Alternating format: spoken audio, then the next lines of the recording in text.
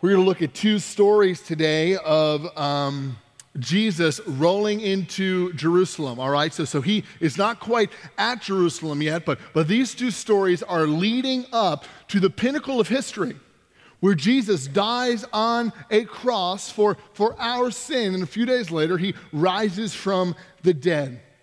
So, right before Jerusalem, Jesus actually takes a little bit of a, a, different route. Rather than through Samaria, he ends up going through Jericho and he meets a few people on the way. So, we're going to read two stories from uh, Jesus heading towards Jerusalem. But before I do that, I want to take the key verse from these stories and I want to read it and I want to talk about it for a minute. I want to take the key verse from not only these stories, but, but this verse may just summarize the gospel. This, story, this, this verse may show us who Jesus really is. Like, if I had to pick a verse to tell somebody what is this Christianity thing all about, I'm probably going to think about this one. And that is Luke 19 10. It says this For the Son of Man came to seek and to save the lost. The Son of Man, he came to seek, but not only to seek, but to save those who were wandering in darkness, those who were lost and couldn't find their way. My friends, this is the gospel. This is our Jesus here. There is no other religion that offers this, no other moral code that offers this, no other lifestyle that offers this. A Savior who, who comes and, and seeks us out and then, and then saves us. Nothing else offers that. When I hear people, when I sit down with, with secular atheists and we begin to engage in conversations about, well, Christianity, what really is this? And, and I'll often hear this kind of universalistic idea of where all streams are flowing into one river, we're all going somewhere together, all religions are the same. That's just not true. It's not true on a, on a level of faith because Jesus says, I am the only way to the Father. But it's also not true just intellectually because Jesus made that claim, meaning that he is saying that is there is one way. And that is me. I am the way, the truth. Me. Number 1. And I'll tell you what. Every other religion, moral code, code lifestyle, it says go. It says look, it says find, it says earn.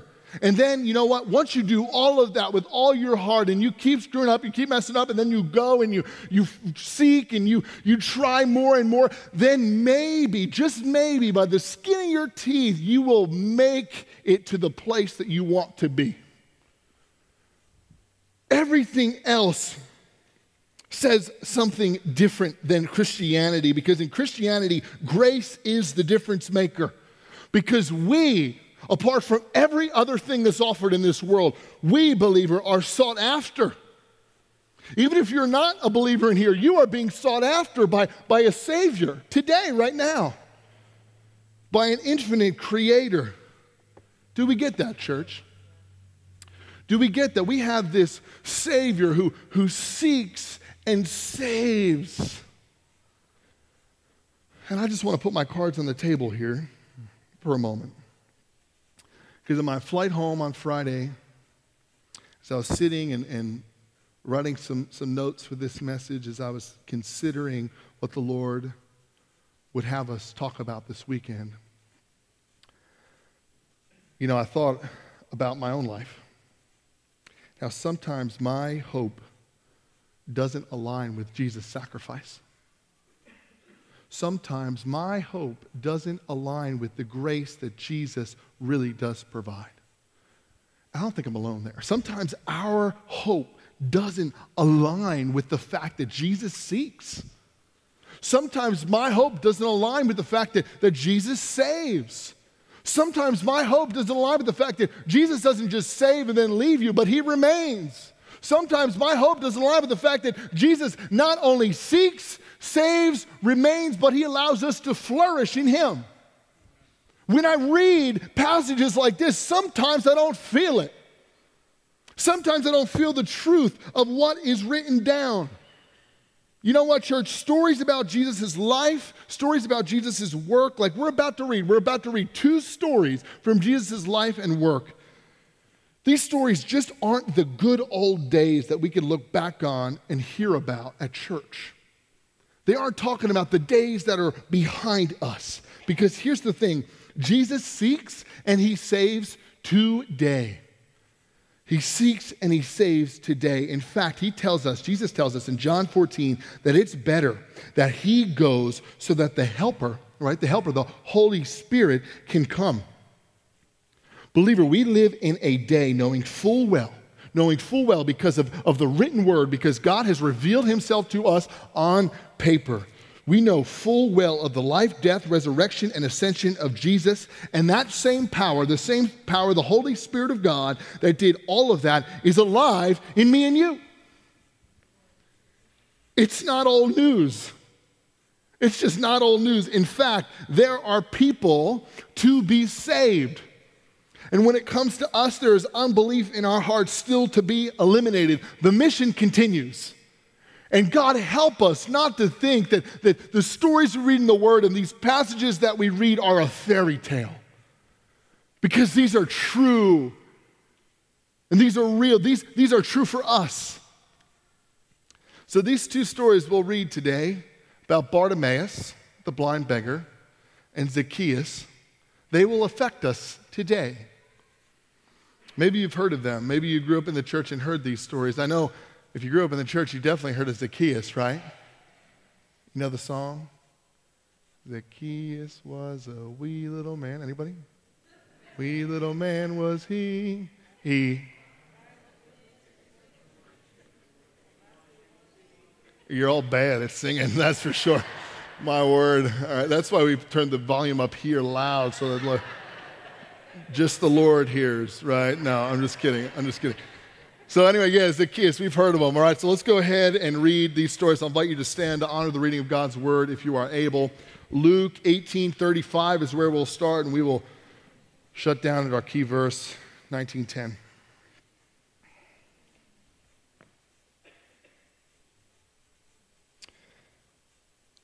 As he drew near to Jericho, he's talking about Jesus, a blind man was sitting by the roadside begging. And hearing a crowd going by, he inquired what this meant. They told him, Jesus of Nazareth is passing by. And he cried out, Jesus, son of David, have mercy on me. And those who were in front rebuked him, telling him to be silent. But he cried out all the more, Son of David, have mercy on me. And Jesus stopped and commanded him to be brought to him. When he came near, he asked him, What do you want me to do for you? He said, Lord, let me, let me recover my sight. And Jesus said to him, Recover your sight. Your faith has made you well. And immediately he recovered his sight and followed him, glorifying God. And all the people, when they saw it, gave praise to God. Chapter 19. And he entered Jericho and was passing through, and behold, there was a man named Zacchaeus. He was a chief tax collector, and he was rich. And he was seeking to see who Jesus was, but on account of the crowd, he could not because he was small in stature. Gotta love the Bible trying to be nice about this dude's short. All right? He was small in stature. Verse 4. So he ran on ahead and climbed up into a sycamore tree to see him, and he was about to pass that way. And when, oh, excuse me, as he was about to pass that way. And when Jesus came to the place, he looked up and said to him, Zacchaeus, hurry and come down, for I must stay at your house today. So he hurried and came down and received him joyfully. And when they saw it, they all grumbled. He has gone in to be the guest of a man who is a sinner. And Zacchaeus stood and said to the Lord, Behold, Lord, the half of my goods I give to the poor. And if I've defrauded anyone of anything, I restore it fourfold. And Jesus said to him, Today salvation has come to this house, since he also is a son of Abraham. For the Son of Man came to seek and to save the lost. Lord, we thank you for these stories. God, open our hearts to what you have for us today. Speak your life into us. Lord, Holy Spirit, be at work in our hearts. Teach us. In Jesus' name we pray. Amen. You can go ahead and have a seat. So, our game plan for today, how we're going to break down these two stories, is we want to first look at Jesus. We want to look at Jesus and how he interacted in these two stories, but then we want to look at Bartimaeus and Zacchaeus. Okay, we're going to look at, at God first, and then we're going to look at, at we're going to relate Bartimaeus and Zacchaeus to us and where we fall. So, so we're going to observe these things together. But let me just say before we do that, I, I talked about this uh, for a second earlier, but Jesus, there's no mistake that he is going through Jericho and he runs into these two guys. Like when it comes to the Lord, when it comes to these stories on these pages, we don't really believe in coincidence, right? The sovereign Father is orchestrating Jesus' steps on earth. He is his son, right? Jesus is God himself, and, and Jesus knows what is coming. He had to, we see back in Luke 9, you don't need to turn there, I'll just tell you about it. We see back in Luke 9 that on his way to Jerusalem, he was not able to go through Samaria, right? So he had to kind of divert. He went a different route and went through Jericho. So on his way to Jericho, he sees Bartimaeus, and then in Jericho, he sees Zacchaeus. So these meetings aren't a coincidence at all. Let's first talk about the things we see in Jesus first. Number one, we see that Jesus, he heals. Jesus heals Bartimaeus. As Jesus is walking, as the crowd is around Jesus, Bartimaeus, being a blind man, whether he saw shapes and, and various shades of color, whatever it may have been, Bartimaeus is, is sitting there and, and he inquires, what, What's going on? What's happening? We see actually in Mark 10, because Bartimaeus is in all of the Gospels, we see in the Synoptic Gospels, we see in Mark 10 that they say to him, oh, Jesus, Jesus is coming through. And once Bartimaeus hears this, he begins to shout, Son of David, Son of David, have mercy on me. Son of David, have mercy on me. He must have been on repeat, right? Son of David, have mercy on me. And the crowd sees Bartimaeus, and, and this hotshot's running through town here. Jesus is popular at this moment, right? He's going to be popular until he gets into Jerusalem. He'll be popular as he enters, but we all know what happens a few days later. So Jesus is, is walking through, and, and Bartimaeus is shouting in the crowd, saying, Shut up! Be quiet! Quiet down, tone it down. This is Jesus walking through. He doesn't want to hear from you. They're trying to get him to be quiet because Bartimaeus was nothing in that society, nothing in that culture. He was the, the scum of the earth in that culture. Nobody wanted anything to do with him. But then Jesus stops. Let's not miss this, this fact that he stops. He stops for, for the one that no one loves, that no one regards as anything special. He stops and he asks, Who said, that commands him to come. And you can imagine, let's not make this flowery, right? I tend to read, uh, every night, Kaya and I will read some books together and we'll read Bible stories. And, and tell you what, these children's books are, are beautiful, but, but some of them are just, they make these stories to be so gorgeous. But we need to think about stinky, nasty Bartimaeus who lives on the side of the road, getting through people, blind, busting into people. Jesus tells him to come, and he's just voice strained, Son of David, have mercy on me, going through the crowd. And Jesus asks him what he wants, and Bartimaeus asks him to restore his sight. And imagine at that moment, after being blind for maybe a lifetime, but maybe a long period of time, whatever it may have been, opening your eyes to Jesus that moment, Jesus saying, Your faith has made you well, and open your eyes and you see the Savior. It's amazing. Bartimaeus' bold confession of the Messiah, uh, Messiah and his humble belief in his power impressed Jesus, it seems. Jesus showed compassion Jesus showed attention to detail because guess what? Jesus is 100% man, 100% God, right? If you want to talk about that later, find somebody else to have coffee with, all right? I'm just kidding. But, but here's the thing in his human nature, he didn't hear Bartimaeus. The crowd was freaking out because Jesus was rolling into town. But in his deity, being the God that he was, he knew Bartimaeus was there and he sought after him. Bartimaeus was sought after and he was healed. Jesus heals, but number two, Jesus saves. Jesus saves those who are searching, and Jesus saves those who don't know they are searching. Get this Jesus saves those who are searching. He saves the Bartimaeus that say, Lord, Lord, son of David, have mercy on me. And Jesus responds in, in verse 42, he says, Recover your sight, your faith has made you well. The direct translation of this is, I have saved you. This is the same thing he said to the woman who anointed his feet, and the same thing he said to the woman who was sick with um, blood. In Luke 7 and 8, you can see that. But Bartimaeus acknowledges the Messiah, and, and Jesus saves him right there on the spot. He, he knew he needed saving. The Holy Spirit was the one showing him he needed saving, but, but he knew he needed more. but Jesus doesn't stop there. He saves those who don't know they're searching too. God has chosen those who don't know they are searching too. Let's reread Zacchaeus' story, just the first six verses. He entered Jericho and was passing through. And behold, there was a man named Zacchaeus, and he was a chief tax collector and was rich. And he was seeking to see who Jesus was, but on account of the crowd, he could not, because he was small in stature. So he ran on ahead and climbed up into a sycamore tree to see him, for he was about to pass that way. And when Jesus came to that place, he looked up and said to him, Zacchaeus, hurry and come down, for I must stay at your house today.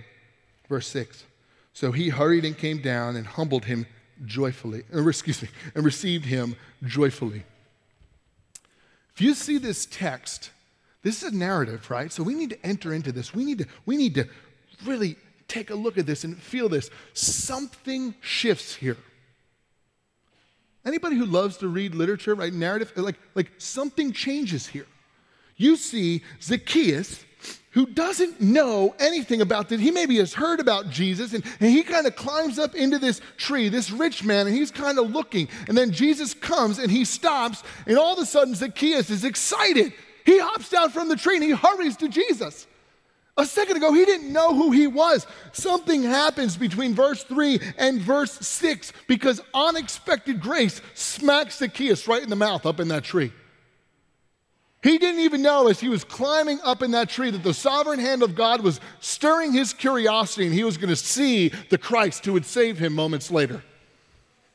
This is the God we are dealing with. We see another example of this on, with Paul on the Damascus Road. I mean, he is on horseback rolling in to go persecute more Christians, and God just smacks him in the mouth with his grace, with his love, and he shows him who he is.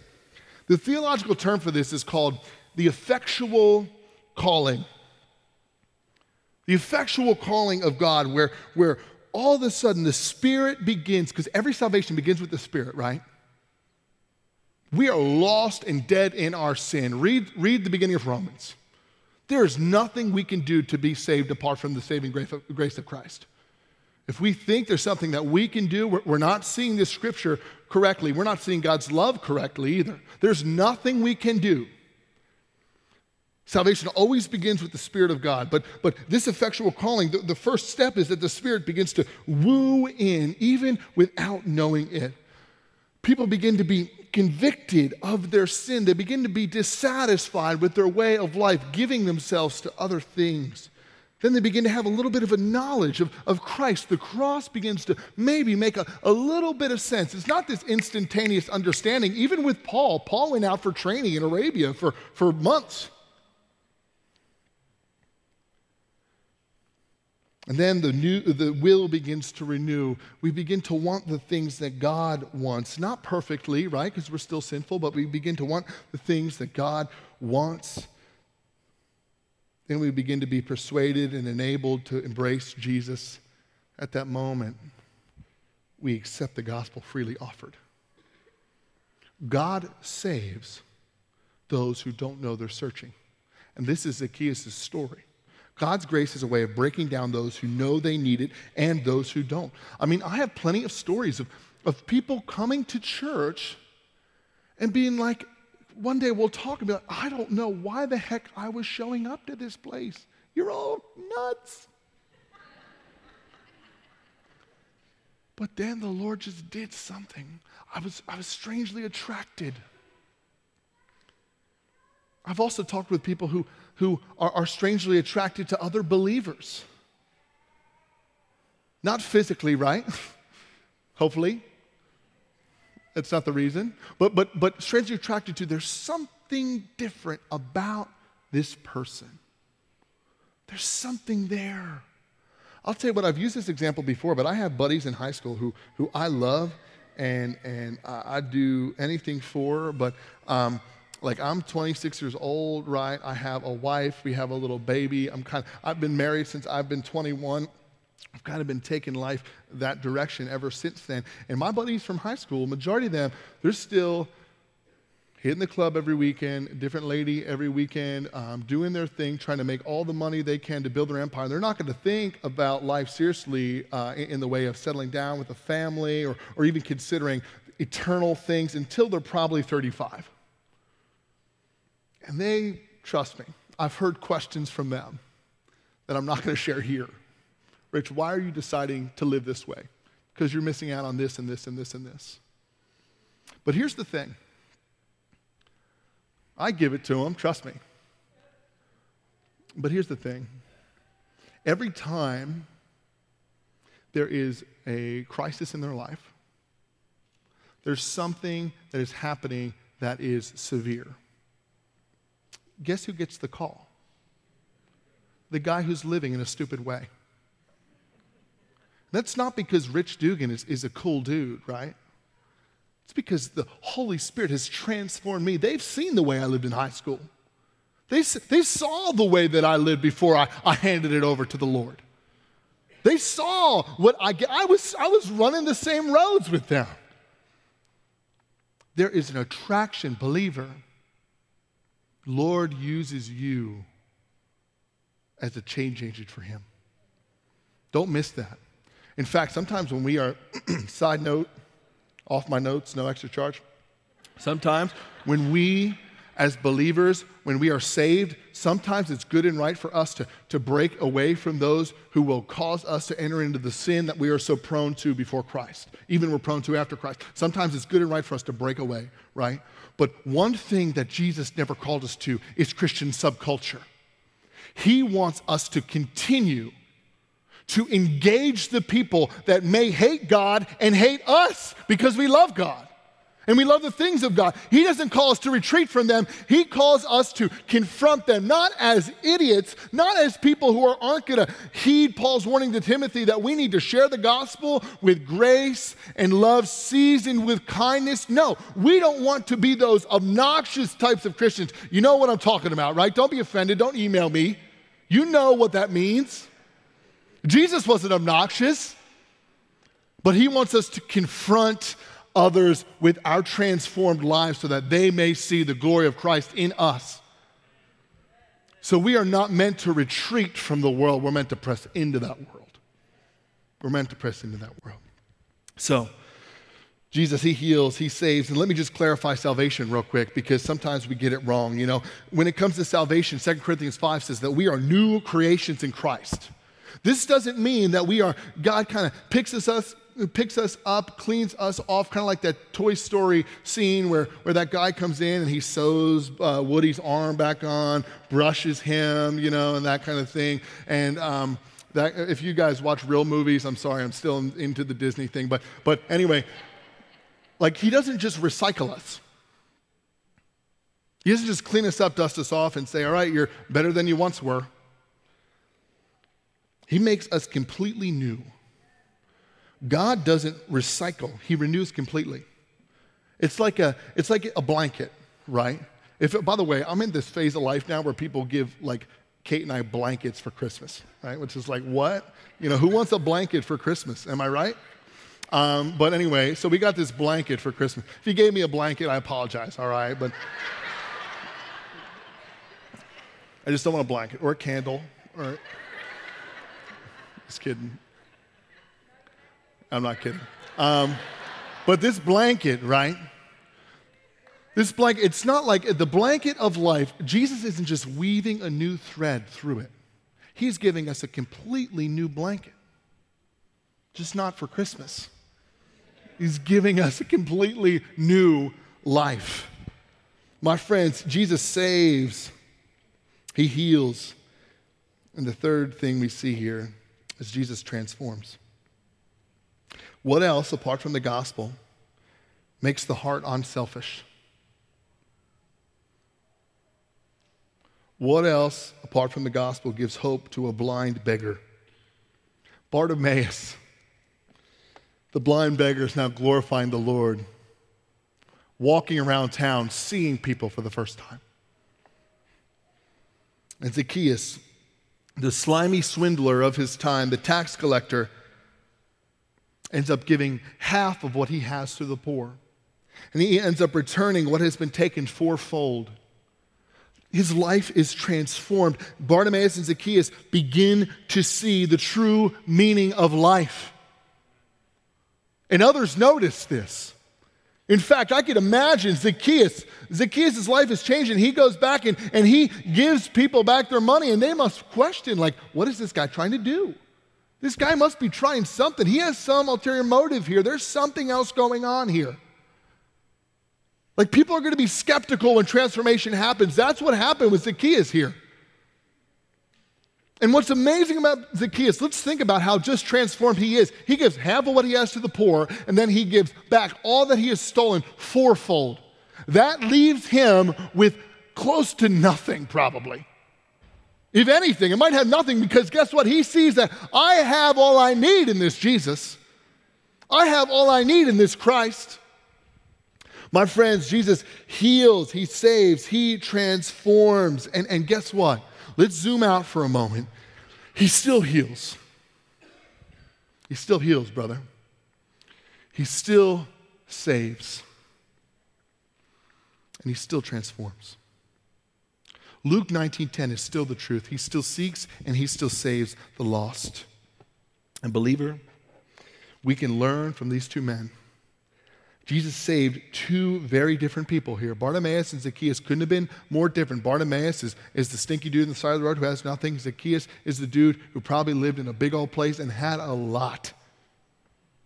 Zacchaeus feared by many, Bartimaeus feared by none. But they did have some things in common. And what they had in common, church, I want us to consider this year together. I'm not a big New Year's resolution guy because they're all broken by the 15th, right? But I want us to consider hey, if we did these things, the Lord would change us individually, but also corporately.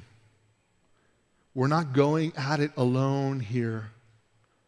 I just had, my wife and I had, had dinner with, with Ariel and TJ last night, and, and we were talking about, you know, one of, the, one of the bummers of a big church is we just don't know everyone, right?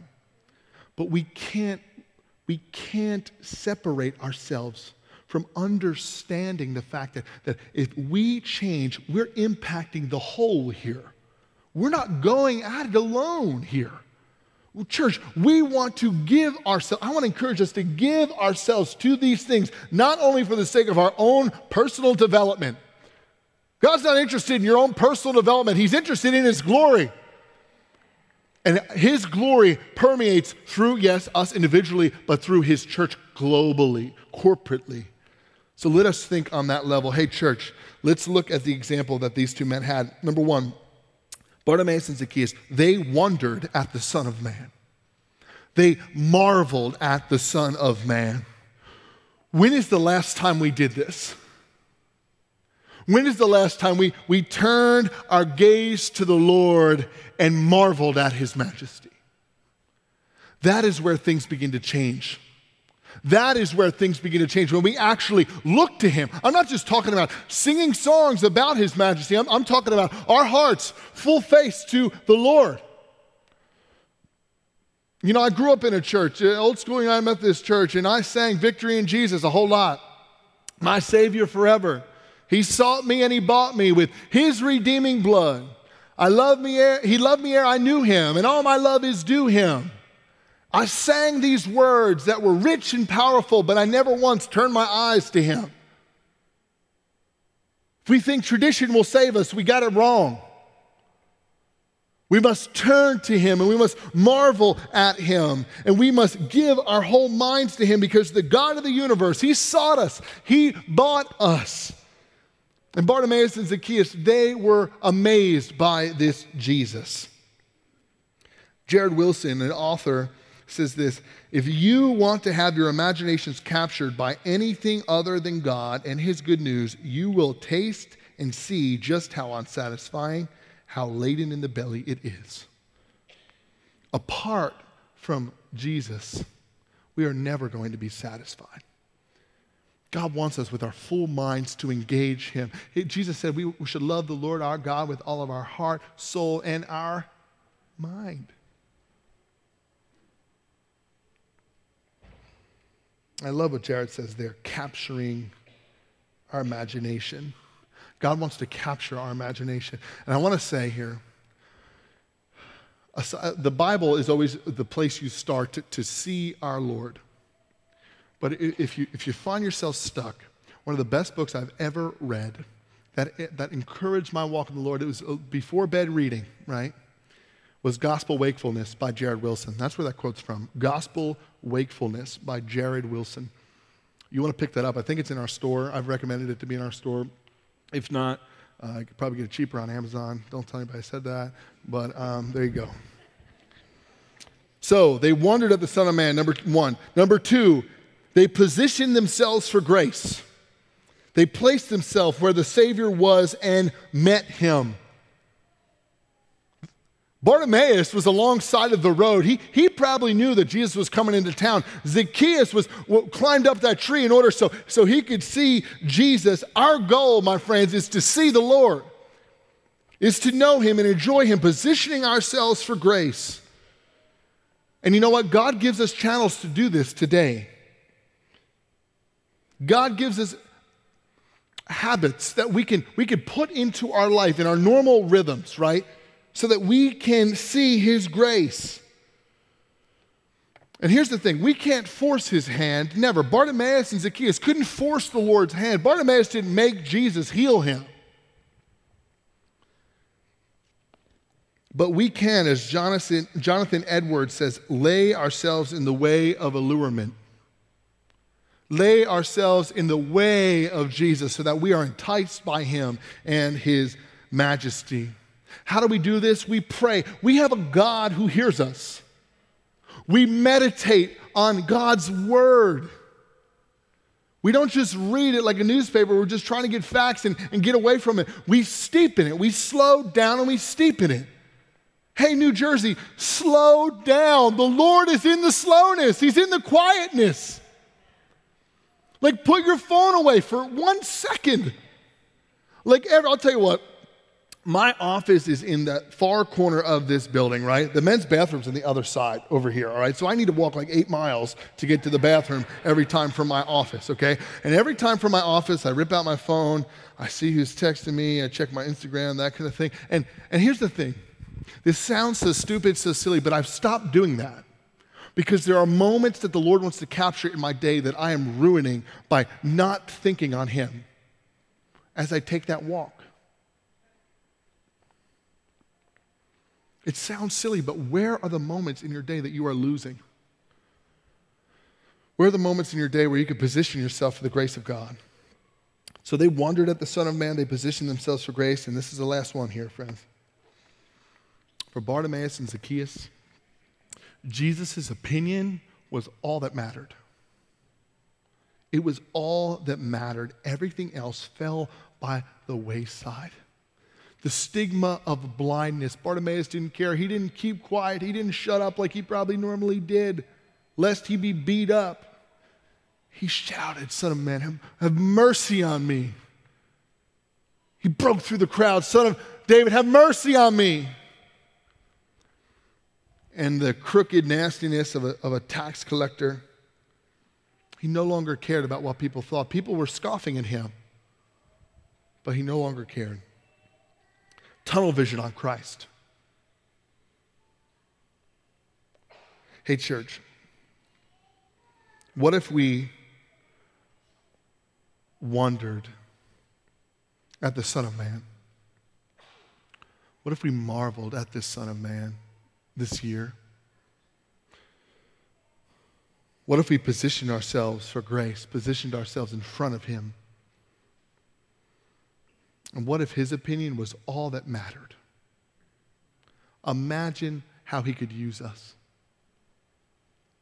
But I want to warn you I want to warn you that there is another group in this story. There was the group that told Bartimaeus to shut his mouth. There was the group that um, got frustrated that Jesus was meeting at a home, going to a home of a sinner. They didn't like that Jesus was being gracious to people, and we're going to find those people. We're going to run into those people. But just like I said earlier, we don't turn ourselves away from them. We, we turn to them. We show them the compassion that Jesus shows us. We turn to them and we, we love them. We turn to them. We don't care what they say about us because guess what? O- only opinion that matters is Jesus's. The only opinion that matters is Jesus's. So let me wrap up with this. I want to talk to two camps. I do this all the time. Unbelievers. I'm not silly enough to think that, that just because everybody came to church today, that you trust in Jesus as your Lord and Savior.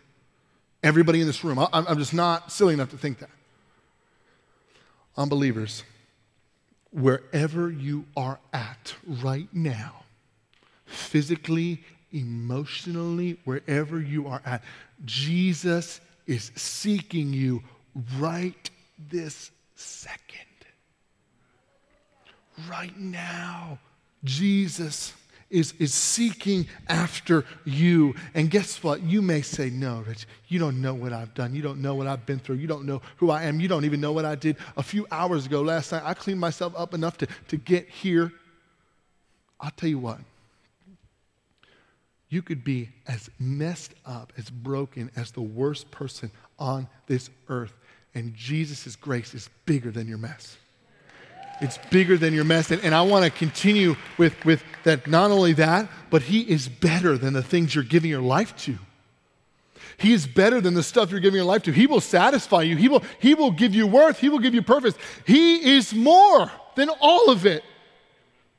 We see so much seeking in our own day after other things than Christ. Even, you know, New Year's Eve was just the other day, and you see all through Twitter and all through Facebook and all through Instagram, all these people who are, are expecting more in the new year. I'm leaving 2018 behind me. 2019 is going to be different. I'm going to do this. New year, new me. All of this baloney seeking for renewal. We see examples of, of our seeking in, in those little things. Those are eternal things, church.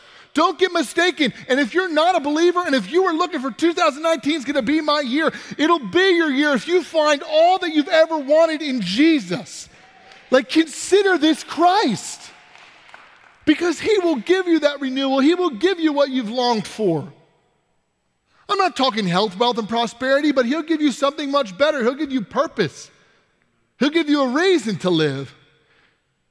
He'll give you an opportunity to not just look for, forward to the next big thing. As believers, we don't just look forward to the next vacation, to the next holiday, to the next big thing, to the next promotion. We have every day, every second purpose in Christ.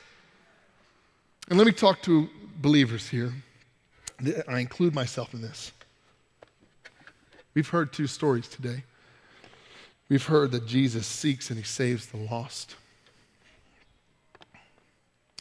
Can we live like this is true? Like, can we actually live like this is true? So I'll tell you what, I don't sometimes. I don't a lot. When we live like this isn't true, we drain ourselves of the power that resides within us. Church, this is real. We got to stop messing around. He still seeks, He still saves. And His saving power came from the fact that He died on a cross, shed His blood for us, and a few days later, He rose from the dead.